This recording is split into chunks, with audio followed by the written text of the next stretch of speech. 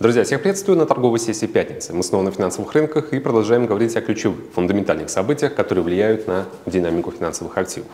Не забывайте подписываться на наш YouTube канал Маркет, оставляйте ваши вопросы в секции с комментариями и, конечно же, не забывайте ставить лайки. Сегодня на повестке экономического календаря в 6.00 по GMT данные по инфляции в Германии. Далее а, переключим а, внимание на статистику по ВВП и промышленному производству Англии. Очень я жду эти релизы, потому что хочется, чтобы фонд наконец-таки заручился поддержкой национального фундаментального фона в виде указанных релизов, где я рассчитываю на очень хорошие показатели, особенно по ВВП. В 12.30 по GMT сразу будем распылять наше внимание на два релиза. Во-первых, это канадская статистика по канадскому рынку труда и, соответственно, данные по промышленной инфляции США, индекс цен производителей. Поэтому, друзья, в совокупности эти релизы могут привнести больше волатильности на финансовые рынки. И несмотря на закрытие недели и уже какие-то осторожные настроения, Конечно же, имейте в виду, что волатильность может появиться внезапно, в любой момент, Обязательно контролируйте риски, следите за загрузкой депозитов и не забывайте про стоп-лоссы. Индекс доллара 102.64. Позиции американской валюты вчера немного дрогнули, что стало реакцией рынка на данные по инфляции в Штатах. Фактически показатель в прошлом месяце снизился с 2,5 до 2,4%. И э, здесь важно подметить то, что доллар не смог найти э, возможности для роста и реализовать их, даже несмотря на прирост базового индекса потребительских цен, который прибавил с 3,2 до 3,3%.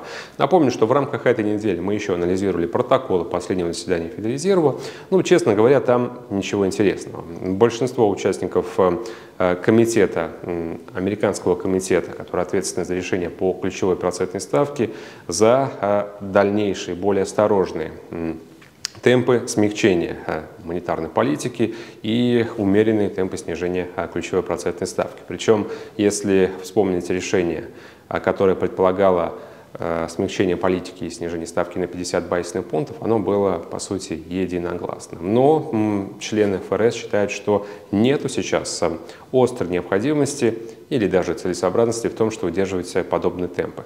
Я думаю, друзья, то, что мы с вами уже сделали выводы о том, что мы не увидим в ноябре снижение ставки на 50 базисных пунктов. Поэтому тема, которая связана с э, этим, сейчас лично мне ну, совершенно неинтересна. Я, наверное, как и, надеюсь, что и как и вы, Ожидаю смягчения политики на 25 базисных пунктов. И э, мне э, немного интересно в плане такого таинства, что будет э, в декабре. Э, это как раз э, заключительное заседание этого года, где вполне возможно, что американский регулятор, если ему придется приспосабливаться под новые экономические условия, может рассмотреть возможность более агрессивного смягчения экономической политики.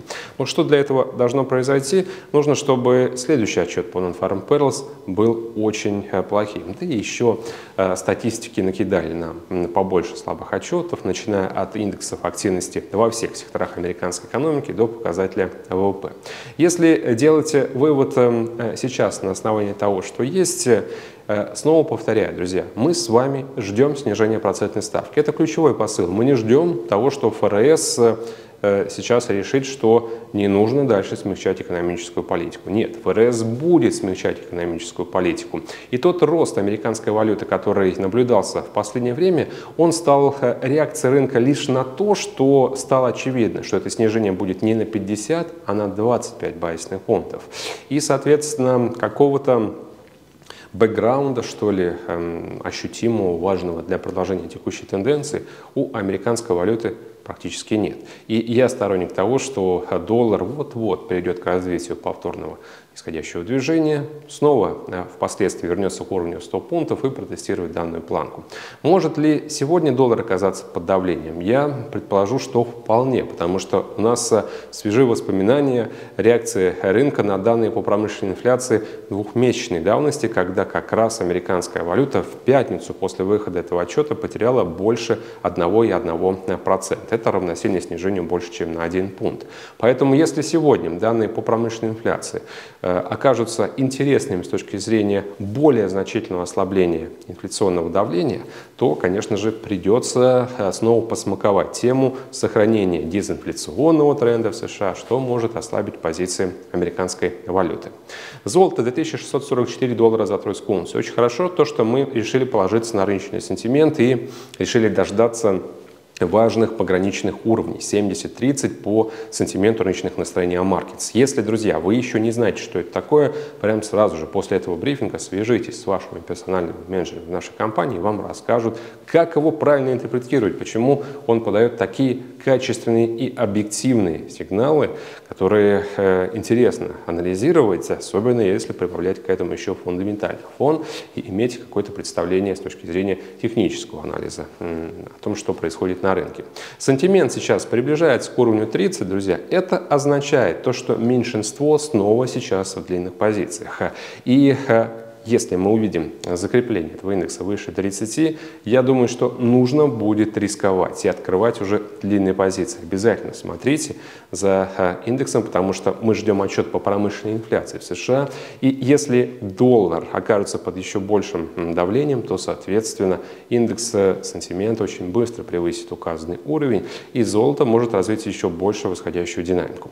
Кто-то скажет, что есть другие факторы, которые сейчас толкают золото вверх. Я спорить с этим ни в коем случае не буду, потому что очень э, страшные темы в последние дни обсуждают, связанные с тем, что если э, Израиль все же ответит, как он любит это делать на выходных, то э, целью эм, именно армии Израиля могут быть уже не только нефтяные объекты Ирана, но и ядерные, что приведет к дестабилизации вообще общемирового политического и экономического порядка. Не в коем случае нельзя допускать, конечно же, чтобы это произошло, но имейте в виду, друзья, на рынке есть панический э, такой вайп, и э, он сейчас в преддверии закрытия недели, когда мы уходим на выходные и не будем иметь возможности как-либо влиять на Э, наши открытые позиции, да и на рынок. Хотя, ну, собственно, и в понедельник, э, когда рынок откроется, нужно быть э, крайне внимательными. Если вы считаете, что есть риски реализации такого сценария, то я вам уже рекомендую вообще тогда не лезть перед выходными в рынок, не открывать позиции и не сохранять их, разумеется, до следующей недели.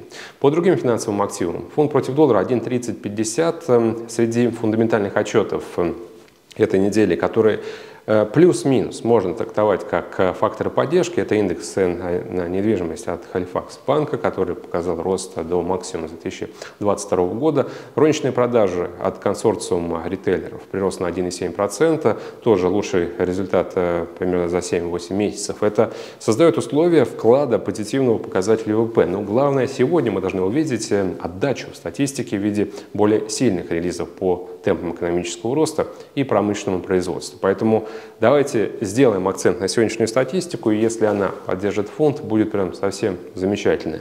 Ну а в целом, если э, коррекция продолжится, то считайте, что отметка 1.30 это при любом развитии событий идеальная возможность, чтобы открывать сделки на средний срок. Мы их продолжим сопровождать. Доллар-канадец, рост 8 сессий подряд, 1.3750. Я сегодня жду закрепления пары выше отметки 1.38, потому что жду очень плохой отчет по канадскому рынку труда. Чего стоит только рост уровня безработицы с 6,6 до 6,7%. Доллар-франк без изменения. Я убежден, то, что бычья ралли будет развиваться, может быть, с легкими коррекциями, но все равно пара будет стремиться к отметке 0,9. Э, Американский фондовый рынок э, замер, по сути, на исторических максимумах, и сегодня, э, после выхода данных по промышленной инфляции, можем на импульсном движении повторно переписать эти исторические хаи. И на следующей неделе уже детальнее будем обсуждать квартальные отчеты, надеюсь, в соответствии с прежним прогнозом прогнозам и оценка экспертов, что э, общие результаты по прибылям корпоративного сектора будут не хуже, чем в прошлом, поэтому на этом фоне S&P может быстро добраться до планки 5900, а там будет рукой подать до отметки 6000 пунктов, который является нашим целевым ориентиром. Рынок нефти 79, все те риски, которые я сейчас обозначил касательно золота, почему растет спрос на защитные инструменты. Нефть, соответственно, тоже от этой ближневосточной темы сейчас э, выигрывает, особенно еще и в контексте вот обсуждения каких-то сокрушительных и неимоверных э, последствий урагана Милтон в США. Хотя эти последствия нужно будет еще оцифровать и Через какое-то время сможем точно дать э, ответ, как сильно пострадала нефтяная инфраструктура. На этом фоне пока допускают, что рост э, продолжится, но в целом пока держусь э, вне сделок по этому инструменту. Друзья, на этом, собственно, все. Большое спасибо за внимание и хорошего закрытия недели. Всем пока!